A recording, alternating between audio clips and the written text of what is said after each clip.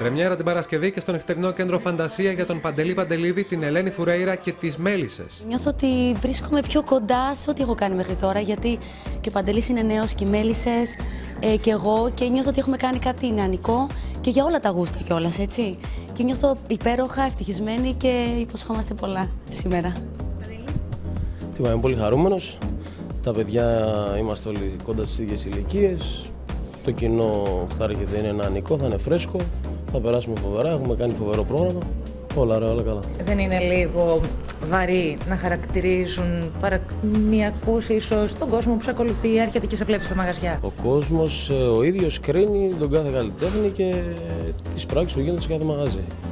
Νομίζω ότι στις μέρες μας είναι λίγο ντροπή να λέμε για τον κόσμο ότι είναι παρακμιακός. Ποιος είναι παρακμιακός, ποιος δεν είναι και ποιος είναι. Δηλαδή αυτές οι ταμπέλες είναι λίγο αστείες. Δηλαδή, ένας άνθρωπος που ζει στην Καλιθέα ή στην Παγκράτη με ελάχιστα λεφτά είναι παρακμιακός και κάποιος που ζει στη Γλυφάδα είναι κάτι ανώτερο. Είναι τεράστιο λάθος. Αυτό είναι μια ταμπέλα άσχημη που ο άνθρωπος που μπορεί να το πει, οποιοδήποτε το λέει, έχει θέμα δικό του. Δεν νομίζω ότι ε, αντιπροσωπεύει εμένα, το Παντελή ή όλα τα νέα παιδιά. Σας ετοιμάζουμε πολύ όμορφα πράγματα, ντουέτα με τα παιδιά εδώ πέρα.